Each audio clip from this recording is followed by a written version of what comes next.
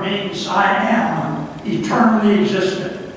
You'll find that in John 1 1. In the beginning was the Word, that's eimi. The Word was with God, the Word was God.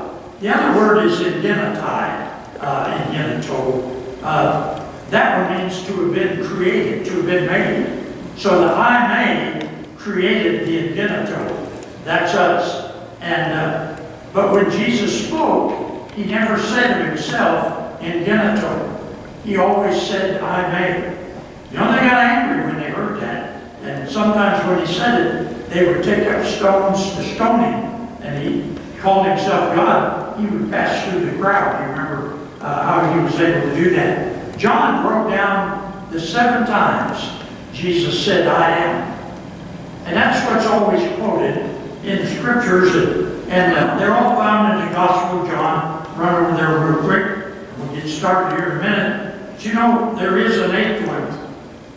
The eight I am, and I'll probably just mention it at the end. But here are the seven specifically that John mentioned, and they have a they have purpose to it. And we'll look at the I am. He said, I am the eternal one, is what he's saying. By the way, the best point of that in Scripture, one time the, the uh, the uh, Pharisees and the scribes were arguing with him. They said, "Where of our father Abraham. And, and he was getting disgusted with them. Jesus looked at him and said, Before Abraham in genito, eimi. So what did he say to him? Before I created Abraham, I was the creator. And the next verse says that immediately they picked up stones to stone him he passed through the group and they weren't able to stone him. Well, this is the word that John picked up on that seven times Jesus said, I am.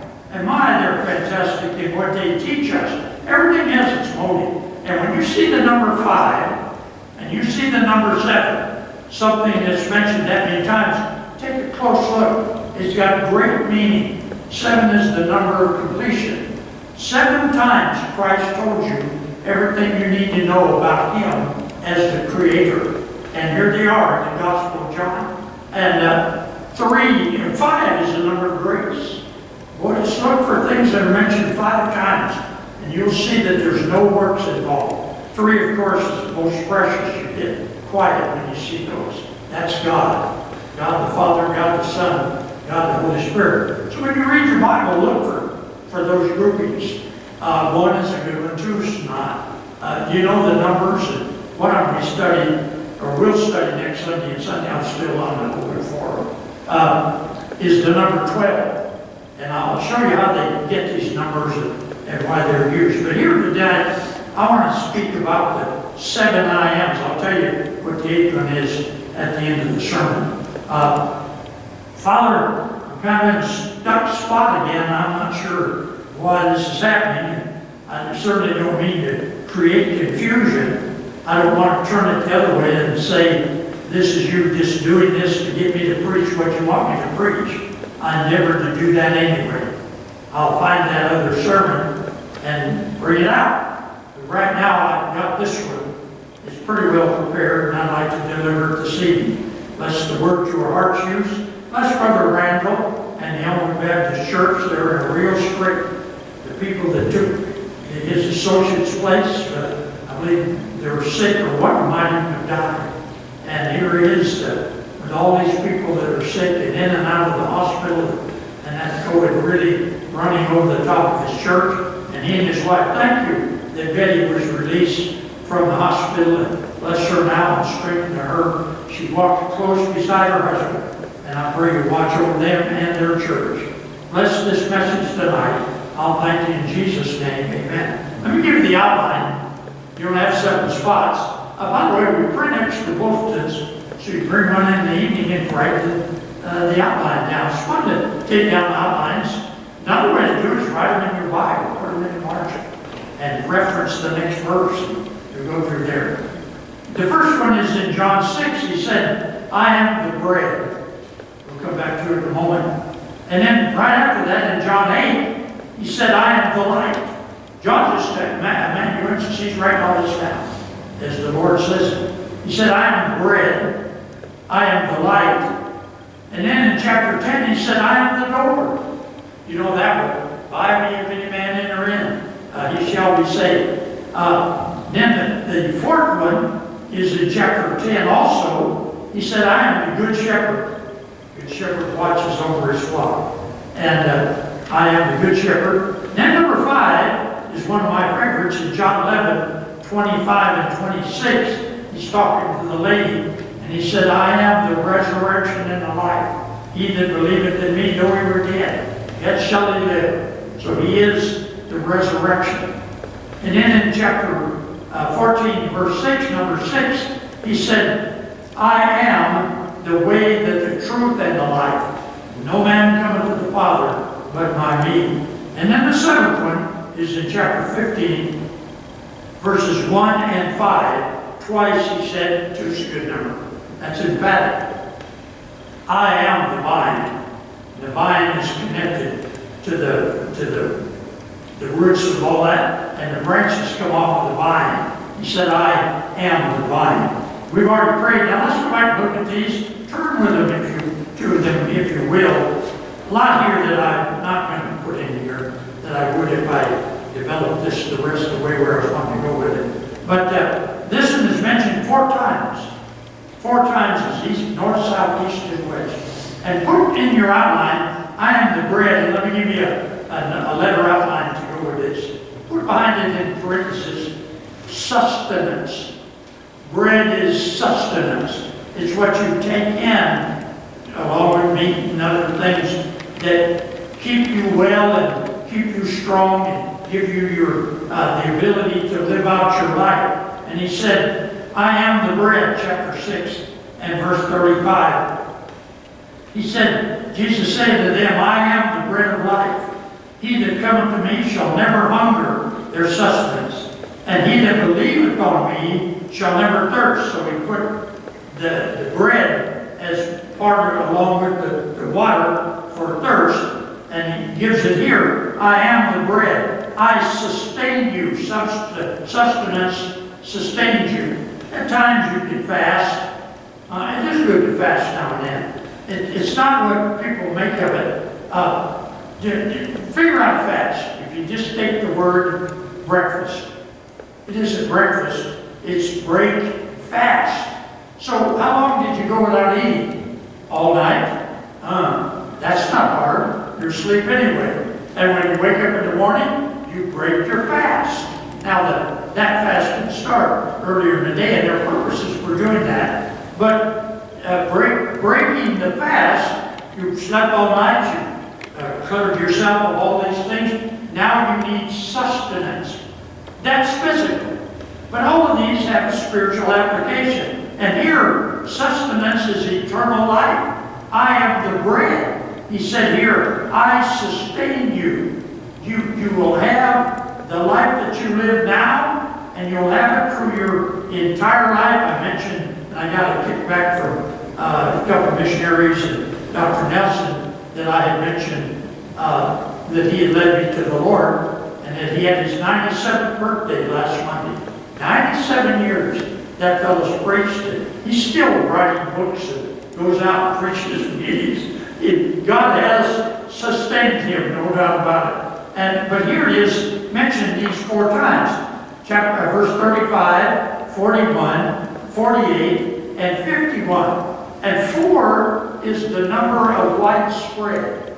The north, the south, the east, and the west. I just went east and west. Uh, the, the bread is spread out. It pictures a feast. One of the things that there is not the main part of the meal, but bread sustains you. And in this day, they ate bread. But he really put a note to it. It was impossible for the unsaved to believe it and understand it. He said, I am the bread. Except you eat this bread. You and they're you, what are we what are we cannibals? They don't use that word. We're, we're supposed to eat you. That's been carried over to Catholicism through the communion. When you take communion and you're Catholic, you are observing transubstantiation. Is that a big name? That means that you take the bread, the priest dips it in the wine, he says, I can beat you with a game of dominoes. No, you can't. That's the chant. And, and then he puts it on your tongue. Now, next time you're talking to a priest, ask him, when I swallow that, or when somebody swallows it, what does it become? And he has no choice but to tell you, it becomes the body and the blood of Jesus. You, you realize how big Jesus must be if Catholics have been eating every time they take communion for over all of these years? They actually teach that. Uh, one guy put it to a priest this way. What if somebody just swallowed that and I cut their throat and I pulled that out? What would I bring out? The priest had no choice but to say a piece of the body of Christ and the blood of Christ. Come on, you're smarter than that, so am I. It's not talking about your physical sustenance. The bread is, and it's given here, I am the bread of life. The word life there is the word eternal life. He's the bread. He is the one that can give you eternal life. The one we'll see here a later, he said to the lady, I am the resurrection and the life. Uh, if, uh, I'm the resurrection and life. He that believeth in me, though he were dead, yet shall he live. And whosoever lives in that life uh, shall never die. So sustenance here is eternal life. You ask yourself tonight, do I really have this down pat? Do I know for certain that I'm saved? I have uh, guy in my church years ago. He's a retired pastor. His wife was a pastor's daughter. And uh, she was in the kitchen after service. I remember was the next morning. He came in the kitchen. She was crying. He said, what's wrong? She said, I'm not saved. He, boy, panicked. He said, what, what do you want me to do? You want me to call the pastor? And he was going over, and he turned around, looked around. She's smiling at him. She said, never mind. I'm saved now. You know what to get saved? You have to be lost. Jesus came to seek and to save that which was lost. And if a person's never been lost, you can't add Jesus to what you are, to your repertoire. You have to come separately and just put your faith and trust in Him. And you eat Him. not, not physically, but you partake of the risen Savior and He gives you, He sustains you with eternal life. That's why we'll never go to heaven. And hell doesn't scare me. It scares me that I know people that are going there and I'm not doing a very good job of stopping them from going. But hey, for us, what's the Bible say? To be absent from the body is To be present with the Lord. to be present with the Lord. I got, I knew you did that for me. Daniel was trying to find it. No, we'll do it. Uh, we're, he sustains us. Boy, there's a lot here. Let's move over and look at the second in chapter 8.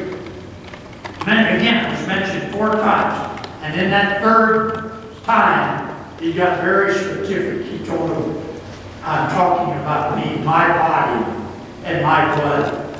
You, that's our partake. To sustain us, we have the body and the blood of the Lord. Then in chapter 8, verse number 12, isn't it amazing? None of the other writers picked up on any of these, except for one. And that's the eighth one. Uh, but John had all of them. Chapter 8, verse number 12. Now, this one is named twice. What is two? Is in, in, in, in the first idea, it pictures separation. But two, when it's used in like something's mentioned twice, it means it's emphatic. Peter, God looked at Jesus, looked at Peter and said, Simon, Simon, Satan hath desired thee to sift thee as wheat. The fact that he mentioned it twice, it's going to happen. And after you're converted, the word there is after you repent. You get your life straightened out, then you can follow me. But Satan's going to get you. That number two is an emphatic. So here we have an emphatic. I am the light of the world, he said in chapter 8 and verse number 12. Then spake Jesus, said to them, I am the light of the world. He that followeth me shall not walk in darkness, but shall have the light. Now look at the word. The light of life. That word life is eternal life. This light shines toward God. And it's mentioned twice in chapter 9 and verse number 5. As long as I am in the world, I am the light of the world. By the way, how many times is Jesus called light in the Bible? Two. Genesis chapter 1. And let there be light. God said, let there be light. And there was light. That's Christ. Then you go over to Revelation uh, 19, 20, and 21, and put those three chapters together, and, and they'll say, the old heaven and old earth will pass away, new heaven new earth appear, but the new heaven and new earth have no need of the sun for Jesus is the light thereof. Genesis 1 4, that's Christ. Revelation 19 through 21, three or four verses there, that's Christ again. How many times we mention it? I am the light of the world. Now, the bread was sustenance, the light is satisfaction. Uh, in that sermon I preached, I don't know how to preach that here. I was going to be preaching in another church. I preached it in Kirk, Colorado. Uh, Jesus Christ, the light of the world. And one of the things the light provides is comfort, peace. The, the, I gave the illustration, I'll try to give it quickly. When I lived with my aunt and uncle, my aunt raised chicks till they were uh, chickens that she could sell to people that wanted hens to lay eggs and, and wanted chickens to butcher. She bought the chickens for a quarter each. This back in the 50s. And, uh, and she'd buy 50 at a time. And she would bring, they'd bring, Uncle Art would bring those home in the trunk of his car. Exhaust fumes and back roads to get there, the car bouncing up down. He'd bring in this big box, heavy cardboard. He put it on a table in the in-house in a special room. And when he lifted that lid off, those poor little chicks are just frantic. They're suffocating from the exhaust. They've been jostled around. They've lost their environment. Sure enough, there were four or five in there that had died, or, and he had even five extra. So he took the dead ones out, threw them in the corner. I had to get rid of them later. If you want to know, I'll tell you sometime what I had to do with them. Uh, but they were just frantic there. The box was this high. And those little chicks are jumping, trying to get out, and they fall back down. And there's a, boy, I, I looked at that, boy, I would say, man, Uncle, you're cruel. Uh, you treat these little chicks like that. Well, Art moved a lamp over there. It was on a, on a stick, an old-time lamp, kind of canonical. And he put it right over the top of that three-foot square box, turned it on. There was this two-foot globe of light in the middle of the three-foot box. And I said that just roughly speaking. And those poor little chicks are, they're not peeping, they're about screaming. And they're running into each other. Another one died. I picked that up, threw over in the corner. Mostly a friend four little chickens in there. And so he left. I said, I want to, uh, he turned the light out. I said, I'm going to stay a little while. So here were these chicks in there growing. Some of them were bigger, not very old, but some were just tiny. And all of a sudden, the bigger ones moved under the light. And pretty soon, the little ones saw that they moved in with those chicks, kind of under their wings. And, and pretty soon, here was a two-foot fuzzy ball of yellow hair say, The comfort of that light shining down and the closeness of those chicks being together gave them the comfort. And pretty soon, the whole bunch of them were sound asleep.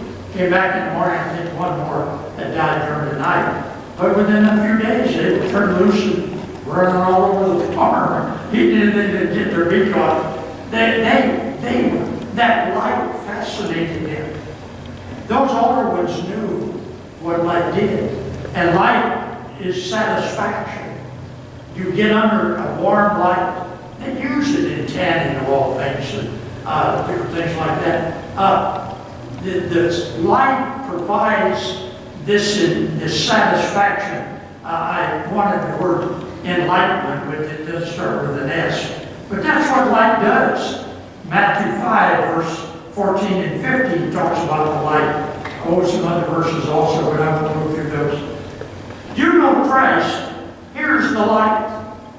It's right here in this book. Everything that tells about Jesus, every, and everything here does. It starts in Genesis 3.15, the, one the first subject. Well, Genesis 1.4, Genesis 3.15. Uh, Christ, the seed of the woman, the, will bruise your heel, but you'll crush his head. That's Christ on Calvary. There it is in the Old Testament, thousands of years before he was ever born. And his light goes all the way through the Revelation when the earth has no need of the sun for Jesus is the light thereof.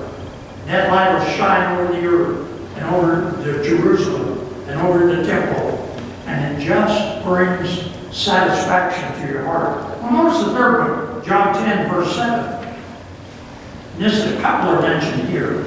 John chapter 10 and verse number 7. Then said Jesus unto them, nobody else mentioned it, Verily, verily, I say unto thee, look at twice, verily, I am the door of the sheep.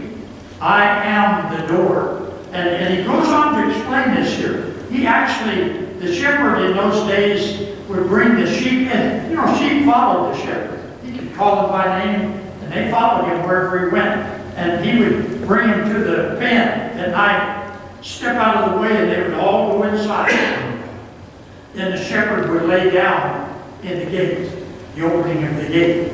No predator could find its way inside. He could see the walls to make sure no wolves came over the wall. So here he is. First he's our sustenance, then he's our satisfaction, and here he is our security. If any man be in Christ, he's a new creature. Old things are passed away, behold, all things become new. You talk about a secure place behind the door. Don't you love that painting? where it shows the Lord, I can't remember, not Raphael, whoever was painted that one, and, and uh, Jesus is at the door and he's knocking. And there's shrubbery all around. It's an old, old painting. I think the Catholics on the original. There's one particular thing in the scene. All these paintings had something that stood out. The door didn't have a knob. It was just a door. Jesus said, I stand at the door and knock. If any man hear my voice and open the door, the latch is on the inside. I, I'm old enough to remember Uncle Ben's house, and had a string that came out through a hole in the door, and it was attached to the latch. And you grabbed the string and pulled it, the latch went up, and you came in the house. But at night, Ben would pull the string back inside the house. You couldn't get your finger in that hole. There was no way to open that door. Ben had to open it from the inside. Well, that door in that painting, they asked the question, what's missing? People are looking for sandals, they're looking berries on the bushes, they're looking for sunlight. Finally, they say, there's no doorknob.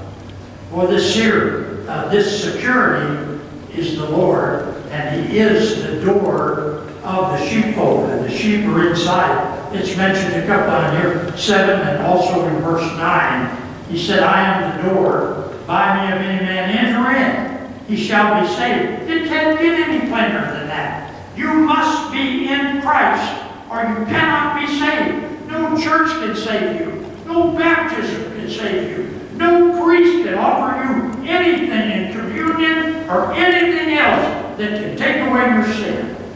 Only Jesus.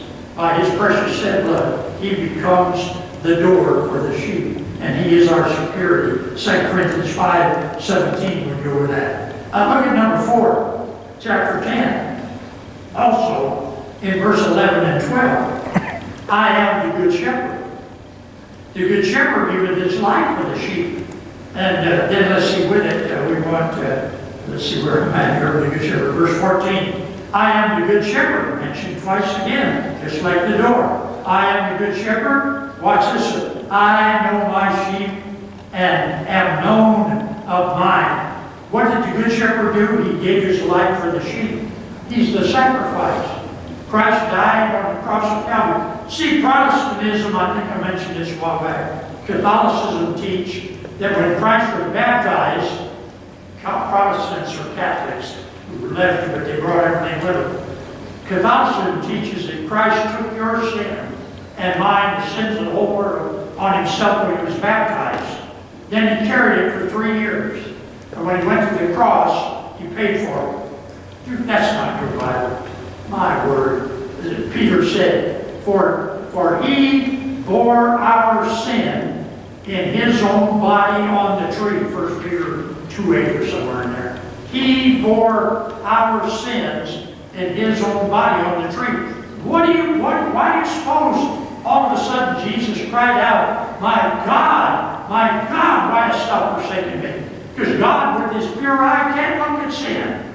And he's seeing his son dying, and all of a sudden, all of a sudden his son is covered with the sins of the whole world. He becomes the sacrifice for sin.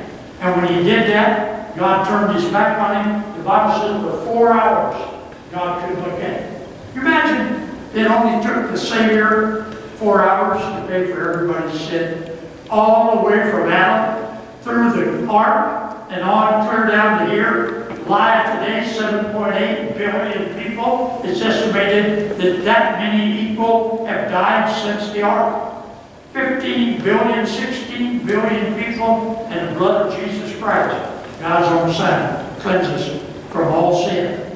Are all saved? Certainly not. You cannot be saved without receiving the gift. If somebody gives you a gift, it's yours to thank when you take it.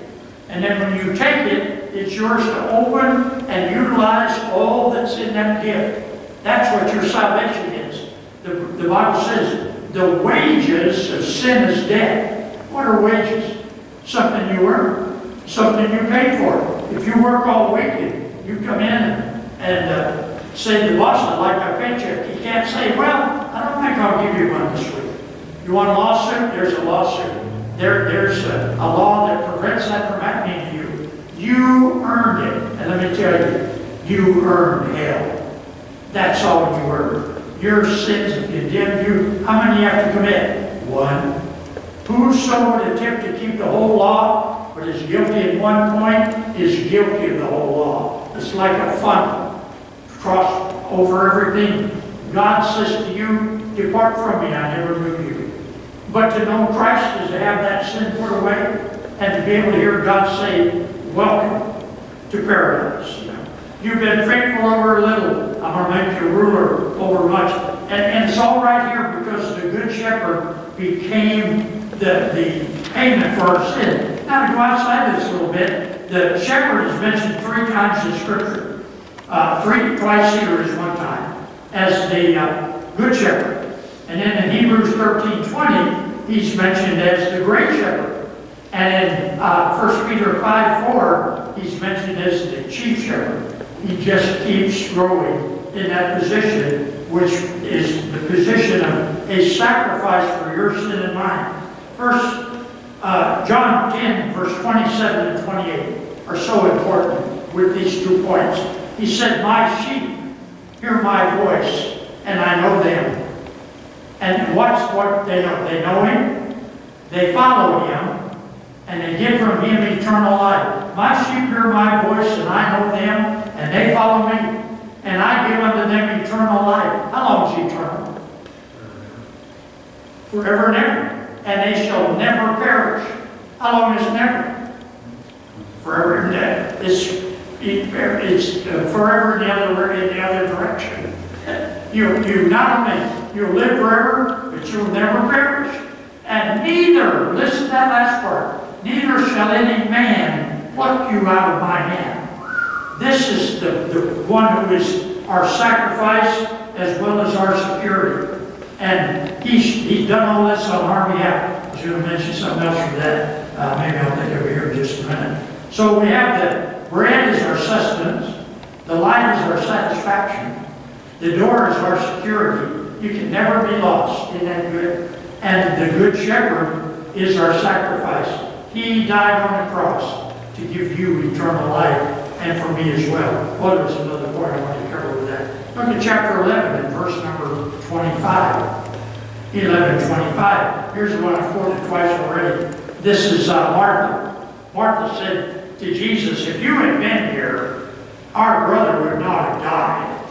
And her sister had told her that, and they cajoled Christ with it. And Jesus purposely didn't come because he wanted Lazarus to die. He wanted to prove what he's telling her in this verse. If you'd been here, he'd not die. Jesus answered back, uh, Thy brother shall rise again. She answered and said, I know that he shall rise in the resurrection at the last day. Christ says this for these two verses, I am the resurrection. Not in the last days, I right now. You're saved, yes, who saved you? The resurrection. Jesus Christ. When did he do it? Uh, my birthday's Friday. Friday I'll be saved 62 years. Isn't something? That Dr. Nelson led me to the Lord those many years ago. You know how many of those years I've been saved? All 62. Once saved, Always saved. always saved. You can't lose it. And this one, he said, I am the resurrection. There it is again. I am the resurrection and the life. He that believeth in me, that's all it takes to get saved. Not disbelief. Disbelief. With the heart, man believeth unto righteousness. John, or Romans, uh, I'll get there later. Romans 10, 10. With the heart, man believeth unto righteousness. With the mouth, confession is made to salvation. You don't get saved by prayer. You convey what your heart believes. All of a sudden, you see the truth. Two of them, three of them, actually. The first truth, you're not worth saving. You're, you're just a rotten sinner. And if it weren't for a gracious God who has a son that would do these seven things, you could never be saved. You could go to hell and you deserve every ounce of it. But here it is. He gives you the gift of eternal life just by believing. And that's because he rose from the dead. They said to him on the cross, He saved others. Himself he cannot save. Well, he didn't answer that, but I did. He looked at him and said, Want to bet? Because what happened? He died. And three days later, he rose from the dead. I am the resurrection and the life. You know, when he died, he went three places. You find them all in the Bible. He went into Tartarus, where all those wicked demons have been since the days of Noah. God locked them up. He still locks them in this place called Tartarus. Jesus went in there, showed him the nail-pierced hands and his side, and said, you haven't seen anything yet. When you see what my Father and I are going to do to you. Then he stepped over across into the other side, into hell, Hades, right on the other side of Tartarus. That's where all the unsaved, the rich man in Luke 16, in hell lifted up his eyes, being in torment. They're there now, still in torment. And Jesus stepped in there in the scripture, you find it, and showed his hands, spoke to them and told them, I'm the resurrection. It was true, you didn't believe it. Then he passed into paradise, which is right beside hell, which is right beside Tartarus. Paradise, by the way, you people listening here, you may have been taught this another way. The Old Testament saints are not in heaven. They were never promised heaven. They were promised the earth. And they'll get the earth. Where are they? In paradise. They didn't leave. They're still down there in paradise. And we, in turn, saved, we get heaven. We're not earthly people. We're heavenly people. And we're looking to live in the New Jerusalem up in heaven with the Lord. Well, here he is in his resurrection. Tartarus, Hades, paradise. It took three days. He came back out there. He stepped into the tomb. And in the tomb, the earthquake came later. In the tomb, leaving his body, this is spirit that did these things. And he left his body and ascended out of that tomb and went up into heaven to be with the Lord. The angels sent, uh, brought an earthquake and shook the tomb, and the stone rolled away. That's amazing. That stone rolled down to get in front of the door. I've been there. There's no preparation for the stone to roll any further down. When that earthquake came, that stone rolled up and went back to its position. It didn't do it so Jesus could get out. It's so that you and I and others could look and see that he. And the angel says, Why do you look for him here? He is not here, for he has risen from the dead, as he said. Christ from oh, the resurrection. This is our sanctuary. Sanctuary is the place that you go. Uh, you might know from the Old Testament the rocky road to the city of refuge. If you, uh, that's a sermon I preach here. If you accidentally kill someone, you to, before you could get in a court hearing, you had to get to a city of refuge. You had to get inside that gate and then close it to keep the relatives and the friends, because whoso sheds man blood, by man shall his blood be shed. You went to the sanctuary city. And the sanctuary is where you're inside and you are protected from any, any interference of any kind. And that's what the resurrection did for you and for me. Listen, listen. To be absent from the body is to be present with the Lord. How long does it take to get there? About the same amount of time it took you to leave the tomb, go up to the heaven, be with his heavenly Father.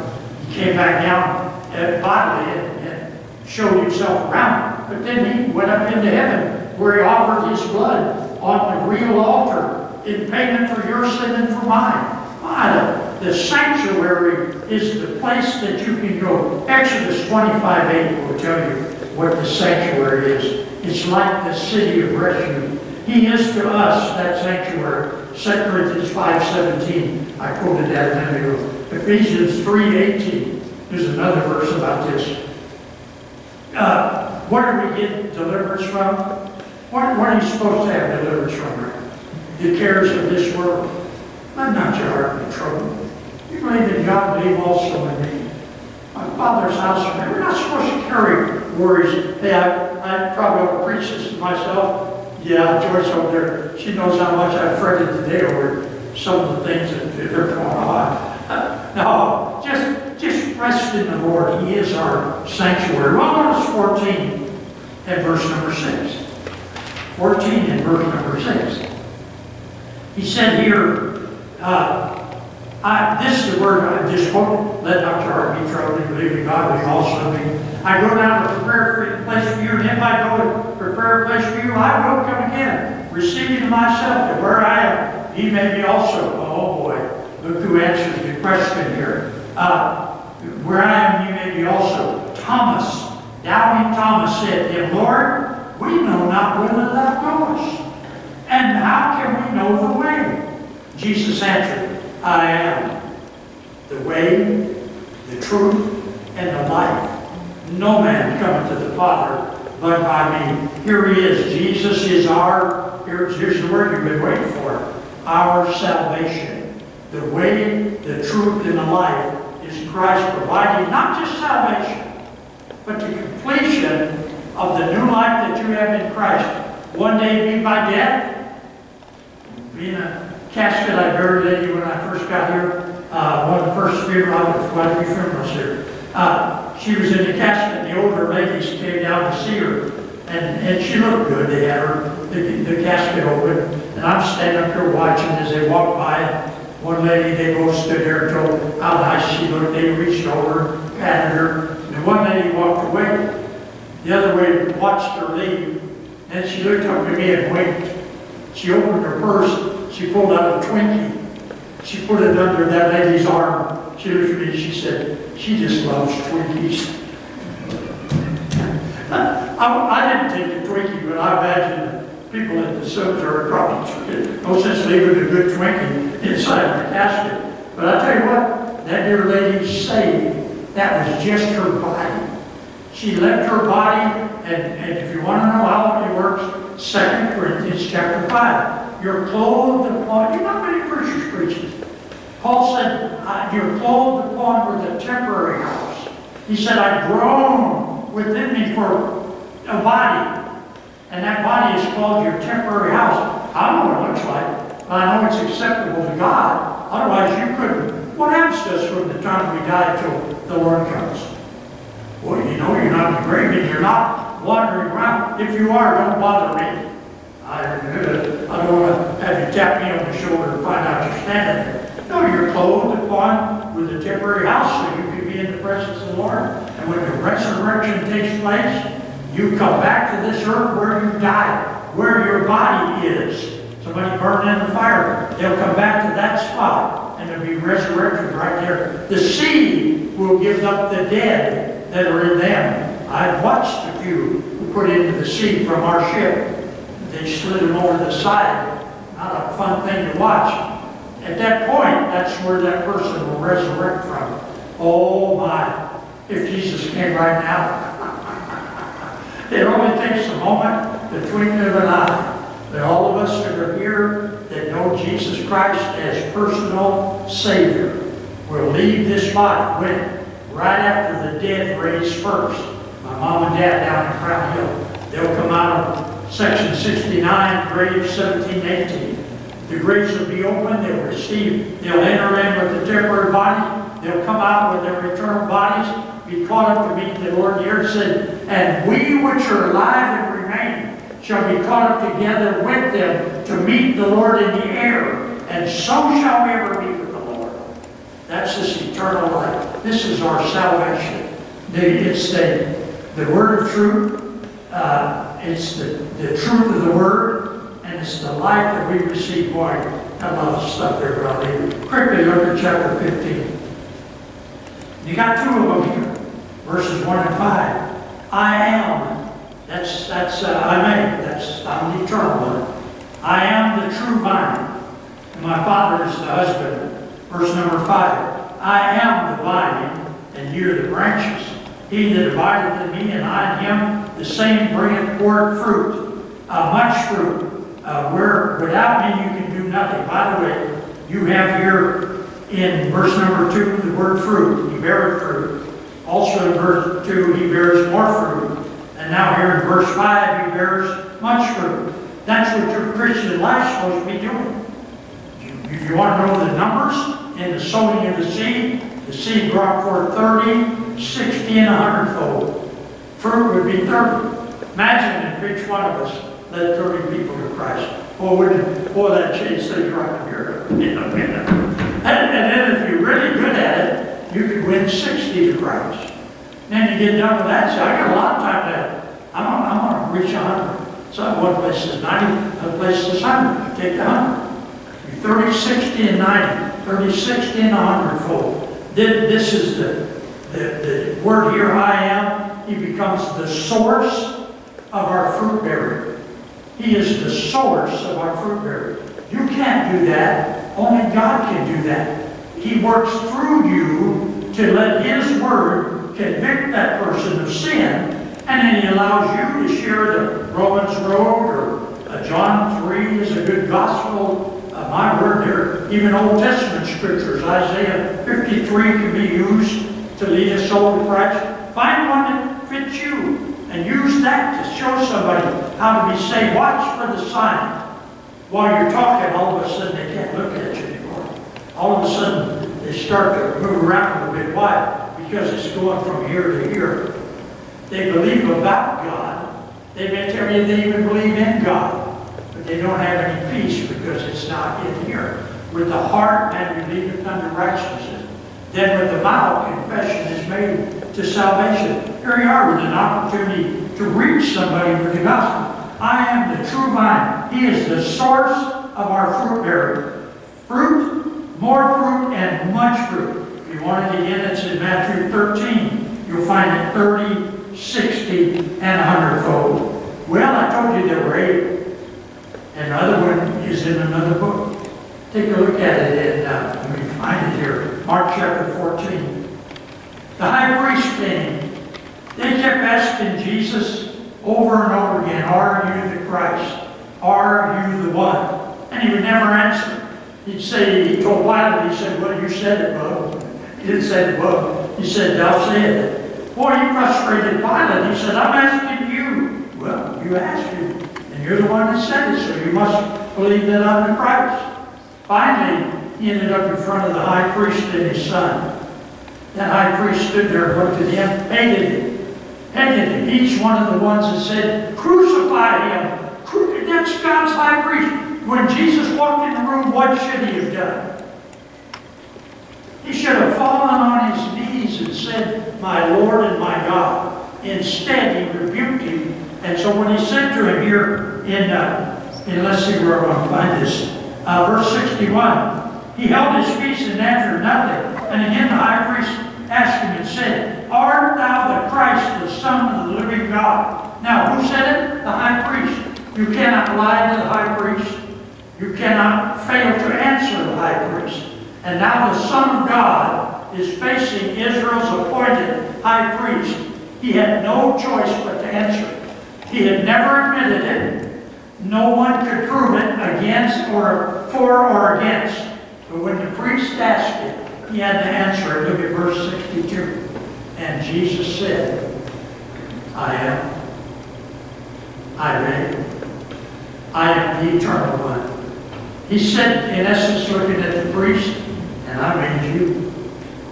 Look what the priest did. He said, I am. And he even answered more. He said, You'll see the Son of Man sitting on the right hand of power, coming in the clouds of heaven. Then the high priest rent his clothes, and he said, What need we any further evident witness? You have heard the blasphemy. What think ye? And they all condemned to be guilty of death. You know this, friend, with the I ams? I don't think I put an S with this one. Uh, now that I think about it, I did put an S with it. Uh, God wants you to know for sure that you're saved. And he can go far enough to say it in the presence of his enemy so you'd have the record that they would take him out and crucify him. Remember uh, Galatians 4, 4 and 5? In the fullness of time, God sent forth his Son, made of a woman, made under the law, that he might redeem them that are under the law. Don't kid yourself. You and I both are under the law. It's written in our heart. And if you've, if you've broken one law, you're guilty of all, the Bible says. That's how you get conviction, to know that you need the blood of Christ to cleanse you from all sin. He sent it over me. They took him out and crucified him. Oh, I'd like to bring a sermon here, and I won't it around uh, Christmas, I don't like that word, uh, the birth of Christ. But, but I'd sure like to get into a sermon about everything that happened here and how they, what these things did. God had all this planned, that sermon the other day, before the foundation of the world. Before he ever made a, a globe, before he ever made a star, or ever made an animal or a bush, he'd already planned for Christ to be made a man and to die a man and to raise again as the Son of God to give you and me eternal life. And this is it in the eighth I am. That priest looked at it. You wonder the mind of Christ. I know he never fear. Don't you let people tell you that at the garden Jesus said, Father, if it's possible, don't, don't make me go. That's not in your Bible. You're reading it wrong. Uh, I don't want to go to the cross, but if I have to go, then you can send me. That's bunch of bunk. Yeah, the Bible said in Isaiah, he set his face as a flint to go to Calvary. Nobody could have talked him out of it. And here, he did this for you. He looked at that priest and said, I am the eternal one, and I made you. That priest rent his clothes, they took him out, they beat him, and I have a sermon on that. From there to Calvary is the most grotesque thing you've ever seen. If you use Isaiah and other Old Testament books in that rowdy what he went through and what he, what he looked like, he couldn't carry his cross. The Catholics told you that. And lady, they're always wanting to sing that song uh, the, about the stations of the cross. It's a beautiful song, but it's wrong. Jesus never carried the cross. He was too weak. He was too beaten. They had wrecked him. He was bleeding. If the Isaiah said if you could have seen the punctiliar, that means point in time, image of his face, you wouldn't have recognized him to be a man. Isaiah said if you'd have seen the shadow of his body on the ground, the Bible said every joint disjointed. It wouldn't have looked like a human being. That's what Jesus went through. That's what this I am is. It came down to the push comes to shove. I'm ready to go. And he did that for you and for me. Any lost sinner can believe that, call upon the name of the Lord, and you get the free gift of salvation. It isn't the praying that saves you, it's the believing. You believe in your heart and then you confess with your mouth that Jesus is the Christ, the Son of the living God. And his blood will cleanse you from all sin. And the I am give you eternal life. Father, thank you for this tremendous passages. They're not there by, they're not said it by accident. And I don't know if these folks picked up on what number eight means. Eight is the number of new beginnings. In, in less than a week, I'll have celebrated 62 years of being a born-again Christian. And I had nothing to do with that. Jesus paid it all. What a marvelous gift did our Savior provide for us that we have that gift of salvation. There's one person here in this message that has never bowed the knee before you, has never confessed before you. Yes, I'm a sinner. Yes, I believe Christ died for me. And I want right now to trust Him and receive Him to be my personal Savior. With that comes eternal life and all of these seven I ams. Thank you for the message. In Jesus' name, amen. Let's sing the verse of the song, shall we? I didn't preach to an invitation. We'll go back there to 280. Kind of my fill-in song on, something like this. And have a peaceful thought to it. Softly and tenderly. If you're not saved tonight, He's calling. He'd like for you to put your faith and trust in Him.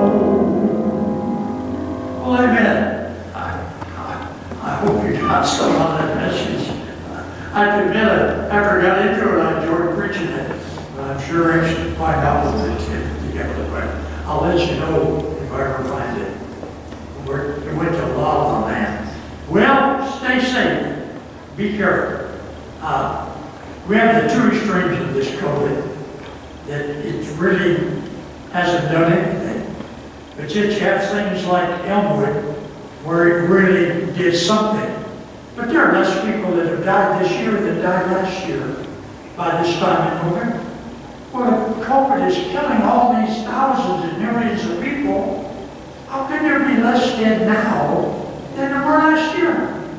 Then you have the other end, like Elmwood. Could you imagine the frantic thing of that? They left that church.